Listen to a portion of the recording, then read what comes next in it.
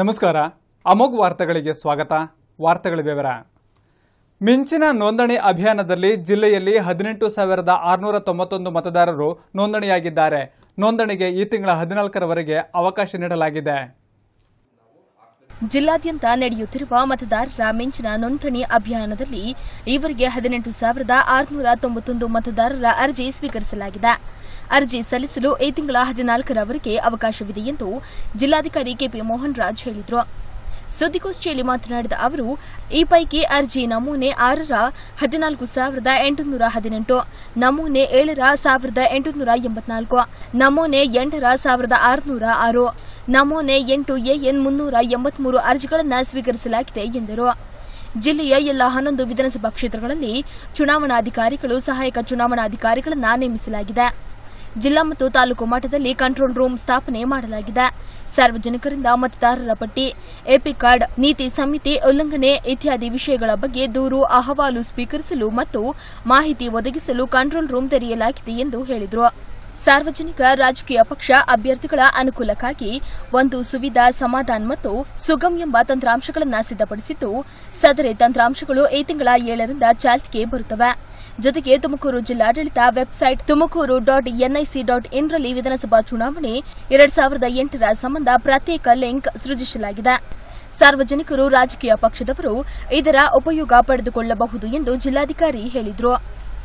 ಜಿಲ್ಲೆಯಲ್ಲಿ ಒಟ್ಟು ಎರಡ್ ಸಾವಿರದ ಆರುನೂರ ನಲವತ್ತೈದು ಮತಗಟ್ಟೆಗಳನ್ನು ಸ್ಥಾಪಿಸಲಾಗಿದೆ. ಅಂತಿಮ ಮತದಾರರ ಪಟ್ಟಿಯ ಅನ್ವಯ ಅರವತ್ತು ಆಕ್ಸಿಲರಿ ಮತಗಟ್ಟೆಗಳನ್ನು ಸ್ಥಾಪಿಸಲು ಅವಕಾಶವಿದೆ ಎಂದರು. ಚುನಾವಣಾ ನೀತಿ ಸಂಹಿತೆ ಕಾಪಾಡಲು ವಿವಿಧ ವೆಚ್ಚ ಪರಿಶೀಲನಾ ತಂಡಗಳನ್ನು ರಚಿಸಲಾಗಿದೆ. ನಲವತ್ತೈದು ಚೆಕ್ ಪೋಸ್ಟ್ಗಳು, ಎಪ್ಪತ್ತೆರಡು ಫ್ಲೈಯಿಂಗ್ ಸ್ಕ್ವಾಡ್ಗಳು, ನೂರ ಮೂವತ್ತೈದು ಸ್ಟಾಟಿಸ್ಟಿಕ್ಸ್ ಸರ್ವೆ ಲೈನ್ ತಂಡ, ಇಪ್ಪತ್ನಾಲ್ಕು ವಿಡಿಯೋ ಸರ್ವೆ ಲೈನ್ಸ್ ತಂಡ, ಹನ್ನೊಂದು ವಿಡಿಯೋ ವಿಂಡಿಂಗ್ ತಂಡ, ಹದಿಮೂರು ಅಸಿಸ್ಟೆಂಟ್ ಎಕ್ಸ್ಪ್ಯಾಂಡಿಚರ್ ತಂಡ, ಹದಿಮೂರು ಅಕೌಂಟೆಂಟ್ ತಂಡಗಳನ್ನು ರಚಿಸಲಾಗಿದೆ ಎಂದು ಮೋಹನ್ ರಾಜ್ ಹೇಳಿದರು. ಮತ್ತು ಕ್ಷೇತ್ರದಲ್ಲಿ ಮತದಾರರ ಬಗ್ಗೆ ಏನಾದರೂ ಒಂದು ಕಂಪ್ಲೇಂಟ್ಸ್ ಇದ್ದರೆ ಯಾರು ಪೊಲಿಟಿಕಲ್ ಪಾರ್ಟಿ ಇರಬಹುದು ಮತದಾರ ಇರಬಹುದು ಆ ಕಂಪ್ಲೇಂಟ್ ಕೂಡ ಪ್ರತ್ಯೇಕವಾಗಿ ಒಂದು ದೂರವಾಣಿ ಸಂಖ್ಯೆ ಕಂಟ್ರೋಲ್ ರೂಮ್ ಅನ್ನು ಕೂಡ ಓಪನ್ ಮಾಡಿದ್ದೇನೆ. ಆ ಕಂಟ್ರೋಲ್ ರೂಮ್ ನಂಬರ್ ಕೂಡ ನಿಮಗೆ ಕೊಡ್ತೇನೆ ಈಗ. ಅದರಲ್ಲಿ ಸೊ ನಮ್ಮ ಮತದಾರರು ಆಯಿತು. ಮೇನ್ ಆಗಿ ಕಂಪ್ಲೇಂಟ್ ಏನು ಬಂದರೂ ಕೂಡ ನಾವು ಆ ಕಂಪ್ಲೇಂಟ್ ಅನ್ನು ಗಣನೆಗೆ ತಗೊಂಡು ಅದು ಒಂದು ಸಮಾಧಾನ ಅಂತ ಒಂದು ಸಾಫ್ಟ್ವೇರ್ ಇರುತ್ತೆ. ಅದರಲ್ಲಿ ನಾವು ಎಂಟ್ರಿ ಹಾಕಿಸಿ ನಾವು ಕಂಪ್ಲೇಂಟ್ ವಿಲೇವಾರಿ ಮಾಡುತ್ತೇವೆ. ಅದೇ ರೀತಿ ಪೊಲಿಟಿಕಲ್ ಪಾರ್ಟೀಸ್ ಅನುಮತಿ ಏನಾದರೂ ಕೇಳಬೇಕಾದ್ರೆ ಸದ್ಯಕ್ಕೆ ನಾಮಿನೇಷನ್ ಫೈಲ್ ಮಾಡೋ ತನಕ ನಾವು ಅನುಮತಿಯನ್ನು ಪೊಲಿಟಿಕಲ್ ಪಾರ್ಟೀಸ್ಗೆ ಅಷ್ಟೇ ನಾವು ಕೊಡ್ತೇವೆ. ಅವರು ಕೂಡ ಅರ್ಜಿ ಹಾಕಿದರೆ ಆಯಾ ಕ್ಷೇತ್ರದಲ್ಲಿಯೇ ಅಲ್ಲಿ ಕೂಡ ಸುವಿಧಾ ಎಂತ ಒಂದು ಸಾಫ್ಟ್ವೇರ್ ಇರುತ್ತೆ, ಅದರಲ್ಲಿ ಅಪ್ಲೈ ಮಾಡಿಸಿ ಸಿಂಗಲ್ ವಿಂಡೋ ಅಲ್ಲಿ ಕೊಡ್ತೇವೆ. ಸಿಂಗಲ್ ವಿಂಡೋ ಅಂದ್ರೆ ನಿಜವಾದ ಸಿಂಗಲ್ ವಿಂಡೋ ಉದಾಹರಣೆಗೆ ಎ ಆರ್ ಆರ್ ಕೊಟ್ಬಿಟ್ರೆ ಅಪ್ಲಿಕೇಶನ್ಸ್ ಆ ಆರ್ ಆ ಐಟ್ರಿ ಸಾಫ್ಟ್ವೇರ್ ಅಲ್ಲಿ ನಮೂದು ಮಾಡುತ್ತಾರೆ. ನಮೂದು ಮಾಡಿಬಿಟ್ಟು ಅಕಸ್ಮಾತ್ ಅದಕ್ಕೆ ಲೌಡ್ ಸ್ಪೀಕರ್ ಅನುಮತಿ ವಿವಿಧ ಪ್ರಕರಣಗಳಲ್ಲಿ ಈವರೆಗೂ ಒಟ್ಟು ಮೂವತ್ತೈದು ಲಕ್ಷದ ಎಪ್ಪತ್ತಾರು ಸಾವಿರದ ನಾನ್ನೂರ ಹತ್ತು ರೂಪಾಯಿಗಳನ್ನು ವಶಪಡಿಸಿಕೊಂಡಿದ್ದು, ಪರಿಶೀಲನೆ ನಂತರ ಹತ್ತು ಲಕ್ಷದ ಮೂವತ್ತೈದು ಸಾವಿರದ ಏಳ್ನೂರ ಹತ್ತೊಂಬತ್ತು ರೂಪಾಯಿಗಳನ್ನು ಸಂಬಂಧಪಟ್ಟವರಿಗೆ ವಾಪಸ್ ನೀಡಲಾಗಿದೆ ಎಂದು ಜಿಲ್ಲಾ ಪಂಚಾಯಿತಿ ಸಿಇಒ ಅನಿಸ್ ಕಣ್ಮಣಿ ಜಾಯ್ ಹೇಳಿದರು. ಇಮಿಡಿಯೇಟ್ ಆಗಿ ಕೇಸ್ ಬುಕ್ ಮಾಡ್ತದೆ, ಪೊಲೀಸಿಗೆ ಹಣ ಹ್ಯಾಂಡ್ ಓವರ್ ಮಾಡ್ತದೆ. ಎಲೆಕ್ಷನ್ ರಿಲೇಟೆಡ್ ಅಲ್ಲ ಅಂತ ಪ್ರೈಮಾ ಫೇಶಿಯ ಕಂಡು ಬಂದಿದೆ ಅಂದ್ರೆ ಅದು ಟ್ರೆಷರಿಗೆ ಹ್ಯಾಂಡ್ ಓವರ್ ಮಾಡಿಕೊಂಡು ಹತ್ತು ಲಕ್ಷದ ಜಾಸ್ತಿ ಇದೆ ಅಂದ್ರೆ ಇನ್ಕಮ್ ಟ್ಯಾಕ್ಸಿಗೆ ಅದು ಇನ್ಫಾರ್ಮೇಶನ್ ಕೊಡ್ತದೆ. ಹತ್ತು ಲಕ್ಷದ ಕಡಿಮೆ ಇದೆ ಅಂದ್ರೆ ಐವತ್ತು ಸಾವಿರದಿಂದ ಹತ್ತು ಲಕ್ಷ ಬರೆ ಅಮೌಂಟ್ ಅಂದ್ರೆ ಸಿಇಒ ಜಿಲ್ಲಾ ಪಂಚಾಯತ್ ಹೆಡ್ ಒಂದು ಕಮಿಟಿ ಇದೆ, ಆ ಕಮಿಟಿಗೆ ರೆಫರ್ ಆಗ್ತದೆ. ಸೊ ಅದ್ರ ಪ್ರಕಾರ ಮೂವತ್ತೈದು ಲಕ್ಷ ಇಪ್ಪತ್ತಾರು ಸಾವಿರ ನಾನೂರ ಹತ್ತು ರೂಪಾಯಿ ನಾವು ಸೀಸ್ ಮಾಡಿದ್ದು. ಅದರಲ್ಲಿ ಹತ್ತು ಲಕ್ಷ ಮೂವತ್ತೈದು ಸಾವಿರ ninety seven ninety rupees release ಮಾಡಿದ್ದು. ಅದರಲ್ಲಿ ಎರಡು ಲಕ್ಷ ಹತ್ತು ಸಾವಿರ ಸಿಒ ಹೆಡೆಡ್ ಕಮಿಟಿಯಿಂದ ದಾಖಲಾತಿಗಳು ಕೊಟ್ಟ ಮೇಲೆ ರಿಲೀಸ್ ಆಗಿದ್ದು, ಬಾಕಿ ಅಮೌಂಟ್ ಶಿರಾ ಮತ್ತು ಸಾರಿ ತುರ್ವಿಕೆರೆ ಮತ್ತು ಮಧುಗಿರಿಯಿಂದ ರಿಲೀಸ್ ಮಾಡಿದ್ದು ಕನ್ಸರ್ನ್ ಆರ್ ಓಸ್ ನೋಡ್ಕೊಂಡು ಡಾಕ್ಯುಮೆಂಟ್ಸ್ ತೋರಿಸಿದ ಮೇಲೆ ರಿಲೀಸ್ ಮಾಡಿದ್ದು. ಈಗ ಸದ್ಯಕ್ಕೆ ನಮ್ಮ ಹತ್ರ ಇಪ್ಪತ್ತೈದು ಲಕ್ಷ ನಲವತ್ತು ಸಾವಿರ ಆರ್ನೂರ ಇಪ್ಪತ್ತು ದುಡ್ಡು ಇದೆ ಟ್ರೆಷರಿಯಲ್ಲಿ ಇದೆ ಅದು ಹತ್ತು ಲಕ್ಷ ಹತ್ತು ಲಕ್ಷ ಐವತ್ತೊಂಬತ್ತು ಸಾವಿರ ಆರ್ನೂರ ಇಪ್ಪತ್ತು ಇನ್ಕಮ್ ಟ್ಯಾಕ್ಸ್ಗೆ ನಾವು ಒಟ್ಟಿಗೆ ಲಂಸಮ್ ಅಮೌಂಟ್ ಇತ್ತು. ಅದಕ್ಕೆ ನಾವು ಇನ್ಕಮ್ ಟ್ಯಾಕ್ಸ್ಗೆ ಇನ್ಫಾರ್ಮೇಶನ್ ದೂರು ಬಂದ ಹಿನ್ನೆಲೆಯಲ್ಲಿ ಮಧುಗಿರಿ ತಾಲೂಕಿನಲ್ಲಿ ಡಿಸಿಸಿ ಬ್ಯಾಂಕ್ ಹಾಗೂ ಸಹಕಾರಿ ಸಂಘಗಳ ಸಾಲ ವಿತರಣೆ ನಿರ್ಬಂಧಿಸಲಾಗಿದೆ ಎಂದು ಡಿಸಿ ಮೋಹನ್ ರಾಜ್ ಹೇಳಿದ್ದಾರೆ. ಮತದಾರರಿಗೆ ಆಮಿಷ ಒಡ್ಡಲು ಸಹಕಾರ ಸಂಘಗಳಿಂದ ಸಾಲ ನೀಡಲಾಗುತ್ತಿದೆ ಎಂಬ ದೂರಿನ ಹಿನ್ನೆಲೆಯಲ್ಲಿ ಮಧುಗಿರಿ ತಾಲೂಕಿನಲ್ಲಿ ಡಿಸಿಸಿ ಬ್ಯಾಂಕ್ ಹಾಗೂ ಸಹಕಾರ ಸಂಘಗಳ ಸಾಲ ವಿತರಿಸದಂತೆ ಆದೇಶಿಸಲಾಗಿದೆ ಎಂದು ಜಿಲ್ಲಾಧಿಕಾರಿ ಕೆಪಿ ಮೋಹನ್ ರಾಜ್ ತಿಳಿಸಿದರು. ಮಧುಗಿರಿ ತಾಲೂಕಿನ ಸೊಸೈಟಿಯೊಂದರ ಕಾರ್ಯದರ್ಶಿ, ಕಾಂಗ್ರೆಸ್ಗೆ ಮತ ನೀಡುವವರಿಗೆ ಮಾತ್ರ ಸಾಲ ನೀಡುವುದಾಗಿ ಹೇಳಿರುವ ವಿಡಿಯೋ ಚಿತ್ರಣ ಹಾಗೂ ಈ ಸಂಬಂಧ ಬಂದಿರುವ ದೂರಿನ ಹಿನ್ನೆಲೆಯಲ್ಲಿ ಈ ಕ್ರಮ ತೆಗೆದುಕೊಳ್ಳಲಾಗಿದೆ ಎಂದರು. ಈ ಬಗ್ಗೆ ಮೂರರಿಂದ ನಾಲ್ಕು ದಿನಗಳಲ್ಲಿ ಸೂಕ್ತ ತೀರ್ಮಾನ ತೆಗೆದುಕೊಳ್ಳಲಾಗುವುದು ಎಂದರು. ಡಿಸಿಸಿ ಬ್ಯಾಂಕ್ನಿಂದ ಜಿಲ್ಲೆಯ ರೈತರಿಗೆ ಸುಮಾರು ನಾನ್ನೂರ ಎಂಬತ್ತೈದು ಕೋಟಿ ರೂಪಾಯಿ ಸಾಲ ವಿತರಿಸಲಾಗಿದೆ. ಇಪ್ಪತ್ತೇಳು, ಎರಡು, ಎರಡ್ ಸಾವಿರದ ಹದಿನೆಂಟರ ನಂತರ ಯಾವ ಸಾಲ ಮಂಜೂರು ಮಾಡಿಲ್ಲ. ಆಗ ಮಂಜೂರಾಗಿದ್ದ ಸಾಲಗಳ ವಿತರಣೆ ಮಾಡಲಾಗುತ್ತಿತ್ತು ಎಂದು ಡಿಸಿಸಿ ಬ್ಯಾಂಕ್ ಸಿಇಒ ಹೇಳಿದರು. ಯಾದಗಿರಿ ಮಾಹಿತಿ ಇಲ್ಲ ಅಂದ್ರೆ ಹೆಂಗೆ ಸರ್? ಮಾಹಿತಿ ಇಲ್ಲ ಅಂತ ಉದ್ದೇಶಪೂರ್ವಕವಾಗಿ ಮಾತಾಡ್ತಾ ಇದ್ದೀರಾ? ಮಾಹಿತಿ ಇಲ್ಲ ಅಂತೇಳಿ? ಅಲ್ಲ ಮತ್ತೆ ಹೆಂಗ್ ಹೇಳ್ತಾ ಇದ್ದೀರಿ ಸರ್? ಮಾಹಿತಿ ಇಲ್ಲ ಅಂತ ಹೆಂಗ್ ಹೇಳ್ತಾ ಇದ್ದೀರಿ? ನೀವೇ ನೀವೇ ಇನ್ವಾಲ್ವ್ಮೆಂಟ್ ನೀವೇ ಇರ್ತಕ್ಕಂಥವ್ರು ಮಾಹಿತಿ ಇಲ್ಲ ಅಂತ ಏನು ಅರ್ಥ ಆಗಿದ್ರೆ ಸರ್, ಒಂದು ಮಾಡಿ ಸೆಕೆಂಡ್ ಈಗ ಸಾಲ ಬಗ್ಗೆ ಈಗ ಮಧುಗಿರಿ ತಾಲೂಕಿನಲ್ಲಿ ಕೃಷಿ ಸಾಲ ಸ್ವಸಹಾಯ ಸಂಘಗಳ ಸಾಲ ಯಾವುದನ್ನ ವಿತರಿಸುತ್ತಿಲ್ಲ ಎಂದರು. ನಿಯಮ ಉಲ್ಲಂಘಿಸುವ ಮದ್ಯದ ಅಂಗಡಿಗಳ ಪರವಾನಗಿ ರದ್ದು ಮಾಡುವುದಾಗಿ ಜಿಲ್ಲಾಧಿಕಾರಿ ತಿಳಿಸಿದ್ದಾರೆ. ಜಿಲ್ಲೆಯಲ್ಲಿ ಅಕ್ರಮ ಮದ್ಯ ತಯಾರಿಕಾ ಘಟಕಗಳು ಹಾಗೂ ನಿಯಮ ಉಲ್ಲಂಘಿಸುವ ಮದ್ಯದ ಅಂಗಡಿಗಳ ಮೇಲೆ ನಿಗಾ ಇರಿಸಲಾಗಿದೆ. ನಿಯಮ ಉಲ್ಲಂಘಿಸಿದ ಮದ್ಯದ ಅಂಗಡಿಗಳ ಪರವಾನಗಿ ಅಮಾನತು ಮಾಡಲಾಗುವುದು ಎಂದು ಡಿಸಿ ಮೋಹನ್ ರಾಜ್ ಹೇಳಿದರು.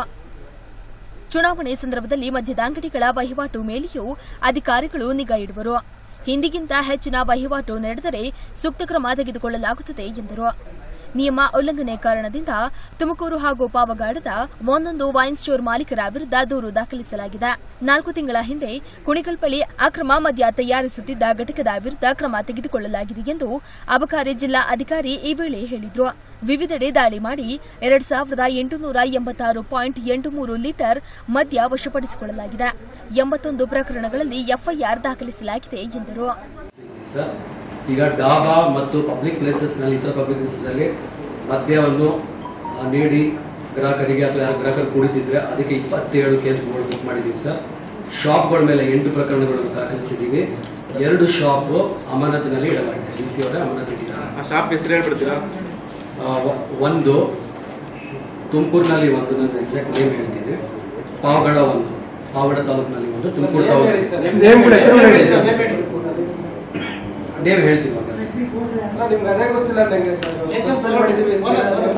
ರಾಮೇಗೌಡ ಅಂತ ಶಾಪ್ ನೇಮ್ ಹೇಳ್ತೀನಿ ಲೈಸೆನ್ಸಿಂಗ್ ನೇಮ್ ಶಾಪ್ ರಾಮೇಗೌಡ. ಆಮೇಲೆ ತುಮಕೂರ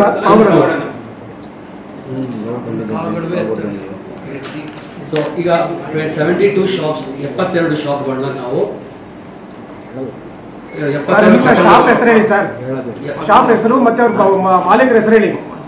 ತುಮಕೂರದ ಮಾಲೀಕರ ಹೆಸರು ರಾಮೇಗೌಡ ಅಂತ. ಅಂಗಡಿ ಹೆಸರು ಹೇಳಿ. ಕೆಲವರು ನನ್ನ ಏಳಿಗೆ ಸಹಿಸದೆ ವೇಷವಾಟಿಕೆ ಪ್ರಕರಣದಲ್ಲಿ ಸಿಲುಕಿಸುವ ಹುನ್ನರ ನಡೆಸಲಾಯಿತು. ಈಗ ನಾನು ನಿರಪರಾಧಿ ಎಂದು ಪ್ರೂವ್ ಆಗಿದೆ ಎಂದು ಕಾಂಗ್ರೆಸ್ ಮಾಜಿ ಜಿಲ್ಲಾಧ್ಯಕ್ಷ ರಾಮಕೃಷ್ಣ ತಿಳಿಸಿದ್ದಾರೆ. ನಾನು ವೇಶ್ಯವನಿಗೆ ಹೋಗಿಲ್ಲ. ನಾನು ಅಂತ ಕೆಲಸ ಮಾಡುವನಲ್ಲ. ನನ್ನ ಏಳಿಗೆ ಸಹಿಸದ ನನ್ನ ಹೆಸರಿಗೆ ಮಸಿ ಬಳಿಯುವ ನಿಟ್ಟಿನಲ್ಲಿ ಕೆಲವರು ಕುತಂತ್ರ ನಡೆಸಿ ಆ ಪ್ರಕರಣದಲ್ಲಿ ಸಿಕ್ಕಿ ಹಾಕಿಸುವ ಪ್ರಯತ್ನ ಮಾಡಲಾಯಿತು ಎಂದು ಕಾಂಗ್ರೆಸ್ ಮಾಜಿ ಜಿಲ್ಲಾ ಅಧ್ಯಕ್ಷ ರಾಮಕೃಷ್ಣ ಸ್ಪಷ್ಟಪಡಿಸಿದರು. ತುಮಕೂರಿನಲ್ಲಿ ಸುದ್ದಿಗೋಷ್ಠಿಯಲ್ಲಿ ಮಾತನಾಡಿದ ಅವರು, ಕೆಲವರು ಕುತಂತ್ರ ನಡೆಸಿ ನನ್ನ ತೇಜೋವತಿಗೆ ಮುಂದಾದರು. ಆದರೆ ಆ ಪ್ರಕರಣದಲ್ಲಿ ತನಿಖಾಧಿಕಾರಿಗಳು ತನಿಖೆ ನಡೆಸಿ ಈ ಪ್ರಕರಣದಲ್ಲಿ ನನ್ನದು ಯಾವುದೇ ತಪ್ಪಿಲ್ಲ ಎಂದು ತಿಳಿಸಿದ್ದಾರೆ. ನಾಲ್ಕನೇ ಆರೋಪಿಯಾಗಿದ್ದ ನನ್ನ ಹೆಸರನ್ನ ಕೈಬಿಡಲಾಗಿದೆ. ನಾನು ಯಾವುದೇ ಅಪರಾಧ ಮಾಡಿಲ್ಲ ಎಂಬುದು ಈಗ ದೃಢಪಟ್ಟಿದೆ ಎಂದು ವಿವರಿಸಿದರು. ಕಳೆದ ಫೆಬ್ರವರಿಯಲ್ಲಿ ನನ್ನ ಪರಿಚಯಸ್ಥರಿಗೆ ನಾನು ಕೊಟ್ಟಿದ್ದ ಐವತ್ತು ಸಾವಿರ ರೂಪಾಯಿ ಹಣ ಪಡೆಯಲು ಹೋಗಿದ್ದ. ಆದರೆ ನನ್ನ ಏಳಿಗೆ ಸಹಿಸದ ಕೆಲವು ಮಂದಿ ಹುನ್ನಾರ ನಡೆಸಿ ನನ್ನನ್ನು ವೇಷವಾಟಿಕೆ ಪ್ರಕರಣದಲ್ಲಿ ಸಿಕ್ಕಿಸುವ ತಂತ್ರ ರೂಪಿಸಿದ್ರು. ಅಂದು ಪೊಲೀಸರು ನನಗೆ ಮಾತನಾಡಲು ಅವಕಾಶ ನೀಡದೆ ಮೊಬೈಲ್ ಸಹ ಕಿತ್ತುಕೊಡಲಾಯಿತು ಎಂದು ಅಂದು ನಡೆದಿದ್ದ ಘಟನೆ ಬಗ್ಗೆ ವಿವರಿಸಿದ್ರು. ಕೆಂಪಯ್ಯ ಮತ್ತು ಶಫಿ ಅಹಮದ್ ಹುನ್ನಾರ ನಡೆಸಿದಾರಂತಲ್ಲ ಎಂಬ ಪ್ರಶ್ನೆಗಳಿಗೆ ಉತ್ತರಿಸಲು ನಿರಾಕರಿಸಿದ ರಾಮಕೃಷ್ಣಪ್ಪ, ಮುಂದಿನ ದಿನಗಳಲ್ಲಿ ಎಲ್ಲ ಸತ್ಯ ಮುಂದಿಡುತ್ತೇನೆ. ಯಾರು ಹುನ್ನಾರ, ಕುತಂತ್ರ ನಡೆಸಿದರು ಎಂಬುದನ್ನ ಹೇಳುತ್ತೇನೆ. ಸದ್ಯಕ್ಕೆ ನಾನು ನಿರಪರಾಧಿ ಎಂದು ಹೇಳಿದ್ರು. ನಾನು ಯಾವುದೇ ತಪ್ಪು ಮಾಡಿಲ್ಲ. ಆದ ಕಾರಣ ಕಾಂಗ್ರೆಸ್ ಪಕ್ಷ ಬಿಡಲ್ಲ. ನನ್ನನ್ನ ಪಕ್ಷದಿಂದ ಉಚ್ಚಾಟಿಸಲಾಗಿದೆ ನಿಜ.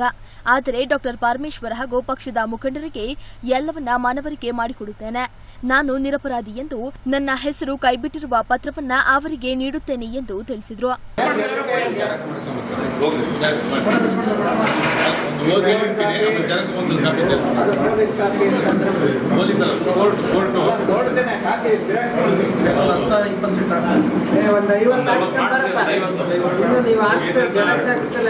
ಫೋರ್ ಅಂತ ಹೇಳಿ ಎಫ್ ಐ ಆರ್ ದಾಖಲೆ ಮಾಡಿದ್ರು.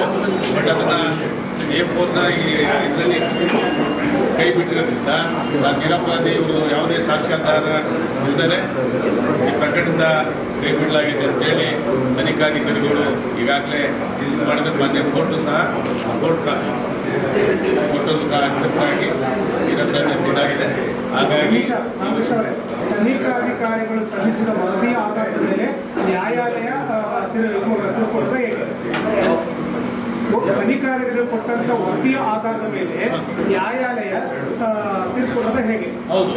ಅದ್ರ ಮೇಲೆ ಏನೇ ಮುಖಂಡರಾದ ವಿಜಯ್ ಕುಮಾರ್ ಅನಿಲ್ ಕುಮಾರ್ ಇತರರು ಇದ್ದರು. ಸಂಸದೆ ಶೋಭಾ ಕರಂದ್ಲಾಜೆ ನೇತೃತ್ವದಲ್ಲಿ ತುಮಕೂರಿನಲ್ಲಿ ಬಿಜೆಪಿಯ ಮುಷ್ಟಿಧಾನ್ಯ ಅಭಿಯಾನ ನಡೆಯಿತು. ವಿಧಾನಸಭೆ ಚುನಾವಣೆಯಲ್ಲಿ ತುಮಕೂರು ಸೇರಿದಂತೆ ರಾಜ್ಯದ ವಿವಿಧ ಕ್ಷೇತ್ರಗಳಲ್ಲಿ ಗೆಲ್ಲುವ ಅಭ್ಯರ್ಥಿಗೆ ಟಿಕೆಟ್ ನೀಡಲು ಕೇಂದ್ರದ ಬಿಜೆಪಿ ವರಿಷ್ಠರು ತೀರ್ಮಾನಿಸಿದ್ದಾರೆಂದು ಸಂಸದೆ ಹಾಗೂ ಬಿಜೆಪಿ ಮುಖಂಡರಾದ ಶೋಭಾ ಕರಂದ್ಲಾಜೆರವರು ಹೇಳಿದರು. ತುಮಕೂರಿನ ಹೊರವಲಯದಲ್ಲಿರುವ ಗಂಗಸಂದ್ರದ ಶಿವಕುಮಾರ್ ಅವರ ನಿವಾಸದಲ್ಲಿ ಬಿಜೆಪಿ ಘಟಕ ಏರ್ಪಡಿಸಿದ್ದ ಮುಷ್ಟಿಧಾನ್ಯ ಸಂಗ್ರಹ ಅಭಿಯಾನ ಕಾರ್ಯಕ್ರಮಕ್ಕೆ ಚಾಲನೆ ನೀಡಿದ ನಂತರ ಸುದ್ದಿಗೋಷ್ಠಿಯಲ್ಲಿ ಸಂಸದೆ ಮಾತನಾಡಿದರು. ಈ ಚುನಾವಣೆಯಲ್ಲಿ ಒಂದೊಂದು ಕ್ಷೇತ್ರದಲ್ಲೂ ನಾಲ್ಕೈದು ಮಂದಿ ಟಿಕೆಟ್ಗಾಗಿ ಪೈಪೋಟಿ ನಡೆಸುತ್ತಿದ್ದು, ಇದರಿಂದಾಗಿ ಗೆಲ್ಲುವ ಅಭ್ಯರ್ಥಿಗಳ ಬಗ್ಗೆ ಕೇಂದ್ರ ಬಿಜೆಪಿ ವರಿಷ್ಠರು ಪ್ರತಿ ಕ್ಷೇತ್ರದಲ್ಲೂ ಸರ್ವೆ ನಡೆಸುತ್ತಿದ್ದಾರೆ, ಎಂದರು. ಈ ಚುನಾವಣೆಯಲ್ಲಿ ಬಿಜೆಪಿಯಿಂದ ಟಿಕೆಟ್ ಸಿಗದವರು ಪಕ್ಷದ ಜೊತೆ ಸಹಕಾರ ನೀಡಬೇಕೆಂದು ಸಂಸದೆ ಮನವಿ ಮಾಡಿಕೊಂಡರು. ಪಕ್ಷವು ಯಾರಿಗೆ ಟಿಕೆಟ್ ನೀಡುತ್ತದೆಯೋ ಅವರಿಗೆ ಪಕ್ಷದ ಕಾರ್ಯಕರ್ತರು ಶ್ರಮಿಸಬೇಕು. ನಾನು ಯಾವುದೇ ಕ್ಷೇತ್ರದಿಂದಲೂ ಸ್ಪರ್ಧೆ ಮಾಡುತ್ತಿಲ್ಲ. ಪಕ್ಷವು ಸೂಚನೆ ನೀಡಿದರೆ ಸ್ಪರ್ಧೆ ಮಾಡಲು ಸಿದ್ಧ ಎಂದು ಸಂಸದೆ ಹೇಳಿದರು ಮುಖ್ಯಮಂತ್ರಿ ಸಿದ್ದರಾಮಯ್ಯ ನೇತೃತ್ವದ ಭ್ರಷ್ಟ ಸರ್ಕಾರ ತೊಲಗಬೇಕು, ಯಡಿಯೂರಪ್ಪ ಮುಖ್ಯಮಂತ್ರಿ ಆಗಬೇಕೆಂಬುದೇ ಎಲ್ಲರ ಅಭಿಲಾಷೆ ಆಗಿದೆ ಎಂದರು. ಫೆಬ್ರವರಿ ಇಪ್ಪತ್ತೆರಡರಿಂದ ರಾಜ್ಯದಲ್ಲಿ ಮುಷ್ಟಿಧಾನ್ಯ ಸಂಗ್ರಹ ಅಭಿಯಾನ ಆರಂಭವಾಗಿದ್ದು, ದಾವಣಗೆರೆಯಲ್ಲಿ ಪ್ರಧಾನಿ ನರೇಂದ್ರ ಮೋದಿರವರು ಅಭಿಯಾನಕ್ಕೆ ಚಾಲನೆ ನೀಡಿದ್ದಾರೆಂದು ತಿಳಿಸಿದರು. ಈಗಾಗಲೇ ರಾಜ್ಯದಲ್ಲಿ ಐದು ಸಾವಿರ ಗ್ರಾಮ ಪಂಚಾಯಿತಿಗಳಿಂದ ಮುಷ್ಟಿಧಾನ್ಯವನ್ನು ಸಂಗ್ರಹಿಸಲಾಗಿದ್ದು, ಈ ಮುಷ್ಟಿಧಾನ್ಯವನ್ನು ದೇವಸ್ಥಾನಕ್ಕೆ ನೀಡುವ ಉದ್ದೇಶವಿತ್ತು. ಚುನಾವಣಾ ನೀತಿ ಸಂಹಿತೆ ಅಡ್ಡಿಯಾಗಿದ್ದರಿಂದ ಕಾರ್ಯಕರ್ತರ ಮನೆಯಲ್ಲಿಯೇ ಅಲ್ಪ ಆಹಾರ ಸೇವನೆ ಮಾಡಲು ತೀರ್ಮಾನಿಸಲಾಯಿತು ಎಂದರು. ಉಡುಪಿ ಸೇರಿದಂತೆ ರಾಜ್ಯದ ವಿವಿಧೆಡೆ ಕೇಸರಿಗೆ ಕಪ್ಪು ಬಣ್ಣವನ್ನು ಅಧಿಕಾರಿಗಳು ಹಚ್ಚುತ್ತಿದ್ದಾರೆಂದು ಸಂಸದೆ ಆರೋಪಿಸಿ, ಅಧಿಕಾರಿಗಳು ನಡೆದುಕೊಳ್ಳುತ್ತಿರುವ ವರ್ತನೆಯ ವಿರುದ್ಧ ಚುನಾವಣಾ ಆಯೋಗಕ್ಕೆ ದೂರು ನೀಡಲಾಗಿದೆ ಎಂದರು. ರಾಜ್ಯದಲ್ಲಿ ಮೂರು ಸಾವಿರದ ಏಳುನೂರ ಐವತ್ತು ರೈತರು ಆತ್ಮಹತ್ಯೆ ಮಾಡಿಕೊಂಡಿದ್ದು, ಈ ರೈತರ ಕುಟುಂಬಕ್ಕೆ ಸರ್ಕಾರವು ಸಾಂತ್ವನ ಸಹ ಹೇಳಲಿಲ್ಲ. ಕೊನೆಗೂ ಪರಿಹಾರ ನೀಡಲು ಮುಂದಾಗಲಿಲ್ಲವೆಂದು ಟೀಕಿಸಿದರು. ಯಡಿಯೂರಪ್ಪರವರು ರೈತರು ಯಾವುದೇ ಕಾರಣಕ್ಕೂ ಆತ್ಮಹತ್ಯೆಗೆ ಮುಂದಾಗಬಾರದೆಂದು ಮನವಿ ಮಾಡಿಕೊಂಡರು ಎಂದು ತಿಳಿಸಿದರು. ಪಕ್ಷ ಟಿಕೆಟ್ ಹಂಚಿಕೆ ಮಾಡಿದಾಗ ಟಿಕೆಟ್ ಬೇಡುವವರು ಸುಮಾರು ಒಂದು ಕ್ಷೇತ್ರದಲ್ಲಿ ನಾಲ್ಕೈದು ಜನ ಇರ್ತಾರೆ. ಒಬ್ಬರಿಗೆ ಮಾತ್ರ ಟಿಕೆಟ್ ಕೊಡಕ್ಕೆ ಸಾಧ್ಯ. ಯಾವುದೇ ರಾಜಕೀಯ ಪಕ್ಷ, ಅದು ಬಿಜೆಪಿ ಇರ್ಬೋದು, ಕಾಂಗ್ರೆಸ್ ಇರ್ಬೋದು ಜೆಡಿಎಸ್ ಇರ್ಬೋದು. ಉಳಿದಂತ ಜನರಿಗೆ, ಉಳಿದಂತ ಕಾರ್ಯಕರ್ತರಿಗೆ ಸಹಜವಾಗಿ ನೋವಾಗುತ್ತೆ. ಆದ್ರೆ ಅವರ ಮನವನ್ನ ಒಲಿಸುವಂತ, ಅವರಿಗೆ ಸಮಾಧಾನ ಮಾಡುವಂತ ಸರ್ಕಾರ ಬಂದಂತ ಸಂದರ್ಭದಲ್ಲಿ ಅವರಿಗೂ ಕೂಡ ಕೆಲವು ಜವಾಬ್ದಾರಿಗಳನ್ನು ಕೊಟ್ಟು ಅವರನ್ನು ಕೂಡ ಪಕ್ಷದ ಮತ್ತು ಸರ್ಕಾರದ ಕಾರ್ಯದಲ್ಲಿ ಜೋಡಿಸುವಂತ ಕೆಲಸವನ್ನ ಭಾರತೀಯ ಜನತಾ ಪಾರ್ಟಿ ಮಾಡುತ್ತೆ. ಯಾರಿಗೇ ನೋವಾಗ್ಲಿ ಅವ್ರ ಜೊತೆ ಭಾರತೀಯ ಜನತಾ ಪಾರ್ಟಿ ಇದೆ, ನಮ್ಮ ಸರ್ಕಾರ ಮುಂದಿನ ದಿನಗಳಲ್ಲಿ ಇರುತ್ತೆ. ಯಡಿಯೂರಪ್ಪನವರನ್ನು ಯಡಿಯೂರಪ್ಪನವರು ಯಾರಿಗೆ ಕೈ ಬಿಟ್ಟಂತ ಯಾವುದೇ ಉದಾಹರಣೆ ಇಲ್ಲ. ಒಬ್ಬರಲ್ಲ ಒಬ್ಬರಿಗೆ ಸಹಾಯವನ್ನ ಮಾಡಿ ಕೈ ಹಿಡಿದಿರುವಂತ ನಮ್ಮ ನಾಯಕರು ಇವತ್ತು ಮುಖ್ಯಮಂತ್ರಿ ಆಗುವಂತ ಸಂದರ್ಭದಲ್ಲಿ ಎಲ್ಲರೂ ಕೂಡ ಎಲ್ಲ ನೋವನ್ನು ಮರೆತು ನಮ್ಮ ಜೊತೆ ಕೈ ಜೋಡಿಸಬೇಕನ್ನುವಂತ ವಿನಂತಿಯನ್ನು ಮಾತ್ರ ನಾನು ಮಾಡ್ತಾ ಇದ್ದೀನಿ. ಮಾಜಿ ಸಂಸದ ಜಿಎಸ್ ಬಸವರಾಜು ಜಿಲ್ಲಾ ಬಿಜೆಪಿ ಅಧ್ಯಕ್ಷ ಜಿಬಿ ಜ್ಯೋತಿ ಗಣೇಶ್ ರಾಜ್ಯ ರೈತ ಮೋರ್ಚಾ ಉಪಾಧ್ಯಕ್ಷ ಶಿವಪ್ರಸಾದ್ ಮಾಜಿ ವಿಧಾನ ಪರಿಷತ್ ಸದಸ್ಯ ಡಾಕ್ಟರ್ ಎಂಆರ್ ಹುಲಿನಾಯ್ಕರ್ ಮಾಜಿ ಶಾಸಕ ಗಂಗಾ ಹನುಮಯ್ಯ ಸೇರಿದಂತೆ ಪ್ರಮುಖರು ಪಾಲ್ಗೊಂಡಿದ್ದರು. ಪ್ರತಿಯೊಬ್ಬರು ತಪ್ಪದೇ ಮತದಾನದಲ್ಲಿ ಪಾಲ್ಗೊಂಡು ತಮ್ಮ ಹಕ್ಕು ಚಲಾಯಿಸಬೇಕು ಎಂದು ಚಿಕ್ಕನಾಯಕನಹಳ್ಳಿ ಪುರಸಭೆಯ ಮುಖ್ಯಾಧಿಕಾರಿ ತಿಳಿಸಿದ್ದಾರೆ. ಹದಿನೆಂಟು ವರ್ಷ ತುಂಬಿದ ಪ್ರತಿಯೊಬ್ಬರು ಮತದಾನದಲ್ಲಿ ಪಾಲ್ಗೊಂಡು ತಮ್ಮ ಮತದಾನದ ಹಕ್ಕು ಚಲಾಯಿಸಿ ಉತ್ತಮ ನಾಯಕರನ್ನ ಆರಿಸಿ ಎಂದು ಪುರಸಭೆ ಮುಖ್ಯಾಧಿಕಾರಿ ಜಗದೀಶ್ ಸಲಹೆ ನೀಡಿದರು. ಚಿಕ್ಕನಾಯಕನಹಳ್ಳಿ ಪಟ್ಟಣದ ಪುರಸಭಾ ಸಭಾಂಗಣದಲ್ಲಿ ಚುನಾವಣೆ ಆಯೋಗ, ಪುರಸಭಾ ಕಾರ್ಯಾಲಯ ಹಾಗೂ ಸರ್ಕಾರಿ ಪ್ರಥಮ ದರ್ಜೆ ಕಾಲೇಜು ಸಹಯೋಗದೊಂದಿಗೆ ಏರ್ಪಡಿಸಲಾಗಿದ್ದ ಮತದಾನ ಜಾಗೃತಿ ಅಭಿಯಾನ ಕಾರ್ಯಕ್ರಮದಲ್ಲಿ ಮಾತನಾಡಿ, ಭಾರತ ಸಂವಿಧಾನದ ಪ್ರಜಾಪ್ರಭುತ್ವ ವ್ಯವಸ್ಥೆಯಲ್ಲಿ ಮತದಾನವೆಂಬುದು ಮಹತ್ವಪೂರ್ಣವಾದುದು. ಮತದಾನ ಮಾಡುವಲ್ಲಿ ಯಾರೂ ಸಹ ಅಸಡ್ಡೆ ತೋರದೆ ತಮ್ಮ ಅಮೂಲ್ಯ ಮತ ಚಲಾಯಿಸುವ ಮೂಲಕ ದೇಶದ ಸಂವಿಧಾನದ ಪ್ರಜಾಪ್ರಭುತ್ವ ವ್ಯವಸ್ಥೆಗೆ ಗೌರವ ನೀಡಬೇಕು. ಮತದಾನದ ವೇಳೆ ಕೆಲವರು ಓಟುವ ಆಮಿಷಗಳಿಗೆ ಬಲಿಯಾಗಬೇಡಿ ಎಂದರು. ಮತದಾನದಲ್ಲಿ ಪಾಲ್ಗೊಳ್ಳುವಂತೆ ಹೇಳಿ ಸುಮಾರು ಜನ, ಎಷ್ಟೋ ಜನ ಮನೆಯಿಂದ ಏನು ಮತದಾನ ಮಾಡ್ದಲೆ ಮನೇಲೆ ಉಳ್ಕೊಂಡ್ಬಿಡ್ತಾರೆ ಹೌದಲ್ವಾ? ಅದರಲ್ಲೂ ಕೂಡ ಎಜುಕೇಟೆಡ್ಸ್, ಅಯ್ಯೋ, ನನಗೆ ಏನೋ, ನನಗೆ ಇದರಿಂದ ಉಪಯೋಗ ಏನು? ನನ್ನ ಒಬ್ಬನಿಂದ ಏನೋ ಯಾವನು ಚುನಾವಣೆ ಏನೋ ಚುನಾಯಿತ ಆಗ್ಬಿಡೋದಿಲ್ಲ. ಹೌದಲ್ವಾ ಸುಮಾರು ಜನರಲ್ಲಿ ತಪ್ಪು ಕಲ್ಪನೆ ಇದೆ. ಮನೆಯಲ್ಲೇ ಕೂಡ ಮತದಾನ ಮಾಡದಲ್ಲೇ ಉಳಿತಾರೆ. ಹಾಗಾಗಿ ಎಲ್ಲರೂ ಕೂಡ ಮತದಾನದಲ್ಲಿ ಪಾಲ್ಗೊಳ್ಳಿ ಅಂತ ಅರಿವನ್ನು ಮೂಡಿಸಿ. ಪ್ರಾಂಶುಪಾಲ ಶಿವಕುಮಾರ್ ಕಂದಾಯ ನಿರೀಕ್ಷಕ ರವಿಕುಮಾರ್ ಉಪನ್ಯಾಸಕ ಜ್ಞಾನದೇವ್ ಇತರರು ಇದ್ದರು. ಅನೈತಿಕ ಸಂಬಂಧದ ಹಿನ್ನೆಲೆಯಲ್ಲಿ ಪಾವಗಡ ತಾಲೂಕು ಗೌಡಿಹಟ್ಟಿಯಲ್ಲಿ ವ್ಯಕ್ತಿಯೊಬ್ಬ ತಾಯಿ ಮಗಳನ್ನು ಬರ್ಬರವಾಗಿ ಕೊಲೆ ಮಾಡಿದ್ದಾನೆ. ಅನೈತಿಕ ಸಂಬಂಧದ ಹಿನ್ನೆಲೆಯಲ್ಲಿ ಪಾವಗಡ ತಾಲೂಕು ಗೌಡಿಹಟ್ಟಿಯಲ್ಲಿ ವ್ಯಕ್ತಿಯೊಬ್ಬ ತಾಯಿ ಮಗಳನ್ನ ಬರ್ಬರವಾಗಿ ಹತ್ಯೆ ಮಾಡಿದ್ದ.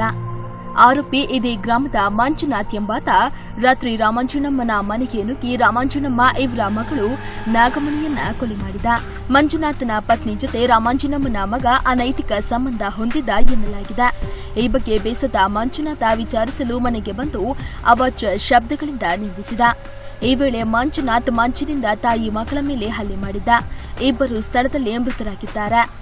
Additional SP doctor Shobharani circle inspector Madhusudan ಸ್ಥಳಕ್ಕೆ ಭೇಟಿ ನೀಡಿ ಪರಿಶೀಲಿಸಿದ್ರು.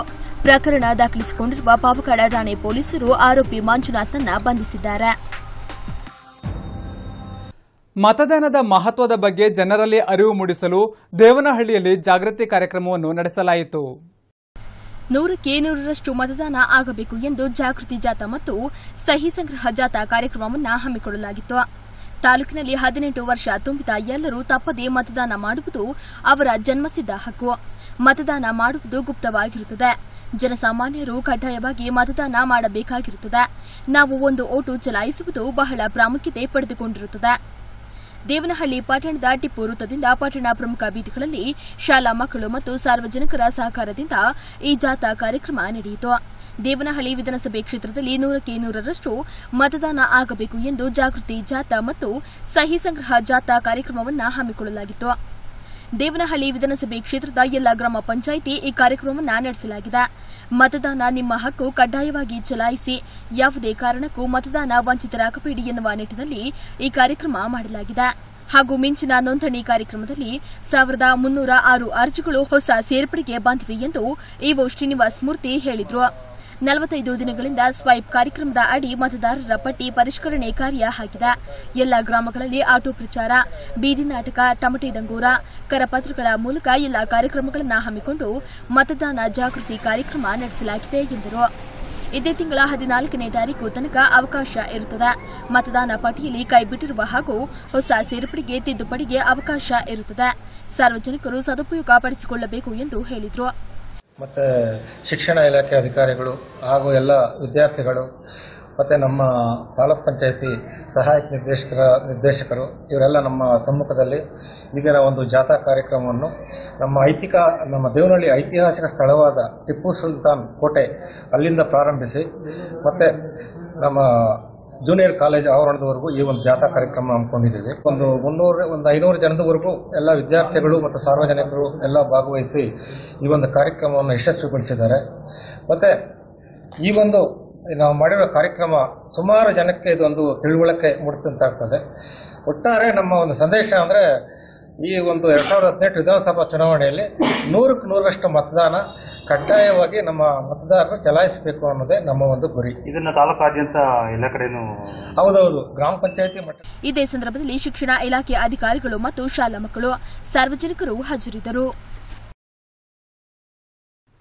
ಶಿಡ್ಲಘಟ್ಟದ ಜೆಡಿಎಸ್ ಬಂಡಾಯ ಅಭ್ಯರ್ಥಿ ರವಿಕುಮಾರ್ ಪ್ರಚಾರಕ್ಕೆ ಅಧಿಕಾರಿಗಳು ಚುನಾವಣಾ ನೀತಿ ಸಂಹಿತೆ ಹಿನ್ನೆಲೆಯಲ್ಲಿ ಕಡಿವಾಣ ಹಾಕಿದ್ದಾರೆ. ಜೆಡಿಎಸ್ ಬಂಡಾಯ ಅಭ್ಯರ್ಥಿ ಮೇಲೂರು ಬಿಎನ್ ರವಿಕುಮಾರ್ ಅವರು ಸ್ವತಂತ್ರವಾಗಿ ಸ್ಪರ್ಧಿಸುವ ಅಭ್ಯರ್ಥಿಯಾಗಿದ್ದರಿಂದ ತಮ್ಮ ಬೆಂಬಲಿಗರೊಂದಿಗೆ ಸಾರ್ವಜನಿಕವಾಗಿ ಪ್ರಚಾರ ಕಾರ್ಯ ನಡೆಸುವಂತಿಲ್ಲ ಎಂದು ಸಹಾಯಕ ಚುನಾವಣಾಧಿಕಾರಿ ಅಜಿತ್ ಕುಮಾರ್ ರೈ ತಿಳಿಸಿದರು. ಶಿಡ್ಲಘಟ್ಟ ನಗರದಲ್ಲಿ ಸೋಮವಾರ ವಿವಿಧ ದೇವಾಲಯ ಮತ್ತು ದರ್ಗಾಗಳಲ್ಲಿ ಪೂಜೆ ಸಲ್ಲಿಸುತ್ತಾ ತೆರಳಿದ ಜೆಡಿಎಸ್ ಬಂಡಾಯ ಅಭ್ಯರ್ಥಿ ಮೇಲೂರು ಬಿಎನ್ ರವಿಕುಮಾರ್ ಅವರ ಹಿಂದೆ ನೂರಾರು ಜನರು ಸೇರಿದ್ರು. ಕೆಲವರು ಹೂವನ್ನ ಚೆಲ್ಲಿ ಬೆಂಬಲ ವ್ಯಕ್ತಪಡಿಸಿದ್ರು. ಜಿಲ್ಲಾ ಪಂಚಾಯಿತಿ ಸದಸ್ಯರು, ನಗರಸಭಾ ಸದಸ್ಯರು ಹಾಗೂ ಕೆಲ ಜನಪ್ರತಿನಿಧಿಗಳೊಂದಿಗೆ ಜನಸ್ತೋಮ ಸೇರಿದಾಗ ಸಹಾಯಕ ಚುನಾವಣಾಧಿಕಾರಿ ಅಜಿತ್ ಕುಮಾರ್ ರೈ ಮತ್ತು ನಗರಸಭಾ ಆಯುಕ್ತ ಚಲಪತಿ ಆಗಮಿಸಿ ಈ ರೀತಿಯ ಪ್ರಚಾರ ಕಾರ್ಯ ನಡೆಸಲು ಆಯೋಗದ ನಿಯಮ ಒಪ್ಪದು ಎಂದು ತಿಳಿಸಿದರು. ಈ ಸಂದರ್ಭದಲ್ಲಿ ಎರಡು ಬೈಕ್ಗಳನ್ನು ವಶಪಡಿಸಿಕೊಂಡರು. ನಂತರ ಎಚ್ಚರಿಕೆ ನೀಡಿ ಬಿಟ್ಟರು. ಆಯೋಗದ ನಿಯಮಗಳ ಪ್ರಕಾರ ಸ್ವತಂತ್ರವಾಗಿ ಸ್ಪರ್ಧಿಸುವ ಅಭ್ಯರ್ಥಿ ನಾಮಪತ್ರ ಸಲ್ಲಿಸುವವರಿಗೆ ಯಾವುದೇ ಪ್ರಚಾರ ಕಾರ್ಯ ನಡೆಸಲು ಅವಕಾಶವಿಲ್ಲ. ನೀತಿ ಸಮಿತಿಯ ವಿವರವನ್ನು ಸ್ವತಂತ್ರ ಅಭ್ಯರ್ಥಿಯಾದ ಬಿಎನ್ ರವಿಕುಮಾರ್ ಅವರಿಗೆ ಹಾಗೂ ಅವರ ಬೆಂಬಲಿಗರಿಗೆ ತಿಳಿಸಿದ್ದೇವೆ ಎಂದು ತಹಸೀಲ್ದಾರ್ ಅಜಿತ್ ಕುಮಾರ್ ರೈ ತಿಳಿಸಿದರು. ಮೇಲೂರು ಬಿಎನ್ ರವಿಕುಮಾರ್ ಅವರು ನಂತರ ಇದ್ಲೋಡು ರಸ್ತೆಯ ಆಂಜನೇಯ ಸ್ವಾಮಿ ದೇವಾಲಯ ಉಲ್ಲೂರ್ಪೇಟೆ ಭಜನೆ ಮಂದಿರ ಆಂಜನೇಯ ಸ್ವಾಮಿ ದೇವಾಲಯ ಗಾರ್ಡನ್ ರಸ್ತೆಯ ಹಜಾರತ್ ಹುಸೇನ ಸರಮಕ್ಷ ವಾಲಿ ದರ್ಗಾ ಒಟಿವೃತ್ತದ ಶ್ರೀರಾಮ ದೇವಾಲಯ ಮುಂತಾದೆಡೆ ಕೆಲ ಜನಪ್ರತಿನಿಧಿಗಳು ಮುಖಂಡರೊಡನೆ ಪೂಜೆ ಸಲ್ಲಿಸಿದರು.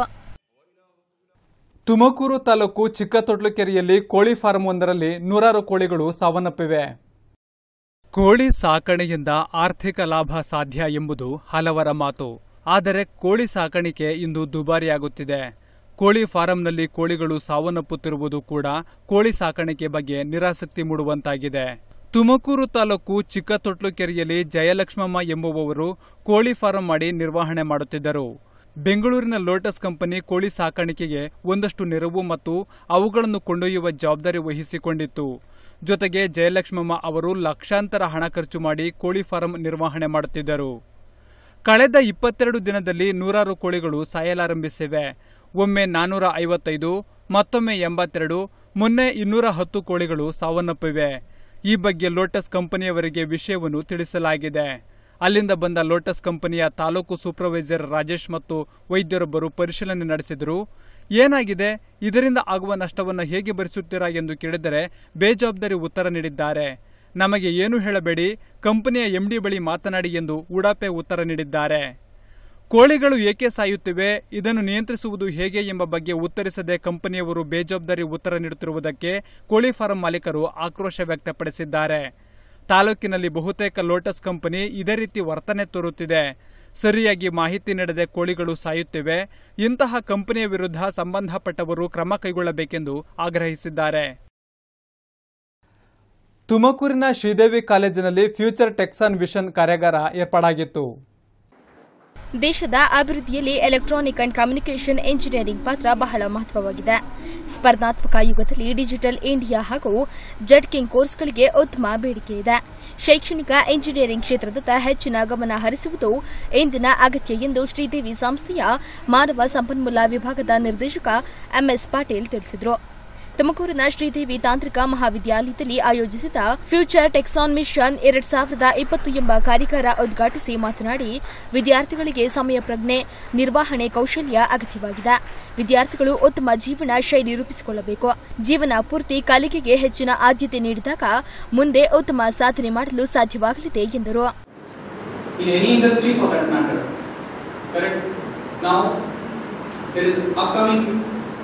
Industry like renewable, renewable energy, solar energy, then your mechanical, so much of robotics, automatic, non-driver cars, solar cars, electric cars, lot of innovations are going on. Don't listen to the negativity. If you are working hard to reach your goal, definitely there will be 10 opportunities waiting for you people. But you need to be focused. It's not like uh, cakewalk, what used to happen previously, little bit. There was a lot of demand, so you, you used to occupy the seats easily. Now it's your skills. See, everyone wants ready-made people to their industry. See, uh, training new engineers will cost a lot for any companies, any company for that matter. They have. ಬೆಂಗಳೂರಿನ HP ಹಿರಿಯ ಸಲಹೆಗಾರ Ramkumar, Jetking ನಿರ್ದೇಶಕ ಅಬ್ದುಲ್ ಸಾಜಿದ್, ತಾಂತ್ರಿಕ ವ್ಯವಸ್ಥಾಪಕಿ ಸುನಿತಾ ಅಮೀನ್ ಗೌಡ್ ಪ್ರಾಂಶುಪಾಲ doctor HP Paniraju ಇತರರು ಇದ್ದರು. ಚಿಂತಾಮಣಿಯಲ್ಲಿ ಶಾಸಕ ಕೃಷ್ಣಾರೆಡ್ಡಿ ಮನೆ ಮನೆಗೂ ತೆರಳಿ ಮತಯಾಚನೆ ಮಾಡಿದರು. ಐದು ವರ್ಷಗಳಿಂದ ತಾಲೂಕಿನಾದ್ಯಂತ ಎಲ್ಲ ಗ್ರಾಮಗಳಲ್ಲಿಯೂ ಪಕ್ಷಾತೀತವಾಗಿ ಹಲವಾರು ಅಭಿವೃದ್ಧಿ ಕೆಲಸ ಕಾರ್ಯಗಳನ್ನು ಮಾಡಿದ್ದು, ಈ ಹಿನ್ನೆಲೆಯಲ್ಲಿ ಪ್ರತಿಯೊಂದು ಗ್ರಾಮಕ್ಕೂ ಹಾಗೂ ವಾರ್ಡ್ಗಳಿಗೆ ಭೇಟಿ ನೀಡಿದಾಗ ಜನತೆ ನಮಗೆ ತಮ್ಮ ಸಂಪೂರ್ಣ ಬೆಂಬಲ ವ್ಯಕ್ತಪಡಿಸುತ್ತಿದ್ದು, ಚಿಂತಾಮಣಿ ವಿಧಾನಸಭಾ ಕ್ಷೇತ್ರದ ಜನತೆ ಮತ್ತೊಮ್ಮೆ ನನ್ನ ಕೈ ಹಿಡಿಯಲಿದ್ದಾರೆ ಎಂದು ಶಾಸಕ ಜೆಕೆ ಕೃಷ್ಣಾರೆಡ್ಡಿರವರು ವಿಶ್ವಾಸ ವ್ಯಕ್ತಪಡಿಸಿದರು.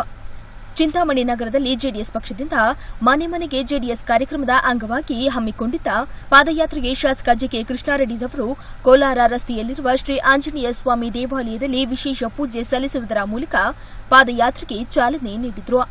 ನಂತರ ವಿನಾಯಕನಗರ ಟಿಪ್ಪುನಗರ ತಪತೇಶ್ವರ ಕಾಲೋನಿ ಚೌಡರೆಡ್ಡಿಪಾಳ್ಯ ಹಾಗೂ ಸಣ್ಣಶೆಟ್ಟಿಹಳ್ಳಿಯಲ್ಲಿ ಪಾದಯಾತ್ರೆ ಮೂಲಕ ಮನೆ ಮನೆಗೆ ತೆರಳಿ ಮತಯಾಚನೆ ಮಾಡಿದರು. ಇನ್ನು ಇದೇ ಸಂದರ್ಭದಲ್ಲಿ ಶಾಸಕ ಜೆಕೆ ಕೃಷ್ಣಾರೆಡ್ಡಿರವರು ತಪತೇಶ್ವರ ಕಾಲೋನಿಯಲ್ಲಿರುವ ಕರ್ನಾಟಕ ದಲಿತ ಸಂಘರ್ಷ ಸಮಿತಿಯ ಜಿಲ್ಲಾ ಸಂಚಾಲಕ ವಿಜಯ ನರಸಿಂಹವರ ಮನೆಗೆ ತೆರಳಿದಾಗ ವಿಜಯ ನರಸಿಂಹವರು ತಮ್ಮ ಅಪಾರ ಬೆಂಬಲಿಗರೊಂದಿಗೆ ಶಾಸಕರಿಗೆ ಭವ್ಯ ಸ್ವಾಗತ ಕೋರಿ ತಮ್ಮ ಸಂಪೂರ್ಣ ಬೆಂಬಲವನ್ನು ಪಕ್ಷಕ್ಕೆ ನೀಡುವುದಾಗಿ ತಿಳಿಸಿದರು. ಈ ವೇಳೆ ಶಾಸಕ ಜೆಕೆ ಕೃಷ್ಣಾರೆಡ್ಡಿರವರು ಮಾತನಾಡಿ, ತಾನು ಕಳೆದ ಐದು ವರ್ಷಗಳಿಂದ ತಾಲೂಕಿನಲ್ಲಿ ಯಾವುದೇ ರೀತಿಯಾಗಿ ಜಾತಿ, ಮತ, ಪಕ್ಷ ಭೇದವಿಲ್ಲದೆ ಸರ್ಕಾರದ ಅನುದಾನಗಳನ್ನು ಎಲ್ಲ ಗ್ರಾಮಗಳಿಗೆ ಸಾಮಾಜಿಕ ನ್ಯಾಯದ ಅಡಿಯಲ್ಲಿ ಸಮಾನವಾಗಿ ಹಂಚಿಕೆ ಮಾಡಿರುವುದಾಗಿ ವಿಶ್ವಾಸ ವ್ಯಕ್ತಪಡಿಸಿದರು.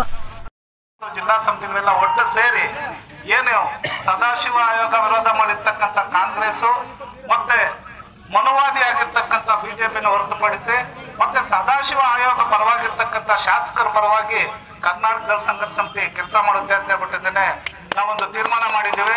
ಆ ಹಿನ್ನೆಲೆಯಲ್ಲಿ ಇವತ್ತು ಈ ಚಿಂತಾಮಣಿ ವಿಧಾನಸಭಾ ಕ್ಷೇತ್ರದಲ್ಲಿ ಕರ್ನಾಟಕ ಸಂಘರ್ಷ ಸಮಿತಿ ಚಿಂತಾಮಣಿ ತಾಲೂಕು ಶಾಖೆ ಮತ್ತು ಜಿಲ್ಲಾ ಶಾಖೆ ವತಿಯಿಂದ ಏನು ನಮ್ಮ ಹಾಲಿ ಶಾಸಕರಾದಂತ ಜೆಡಿಎಸ್ ಪಕ್ಷದ ಅಭ್ಯರ್ಥಿ ಆಗಿರ್ತಕ್ಕಂಥ ಕೃಷ್ಣಾರೆಡ್ಡಿ ಅಣ್ಣನವ್ರಿಗೆ ನಾವು ಬೆಂಬಲ ಘೋಷಿಸ್ತಾ ಇದ್ದೀವಿ.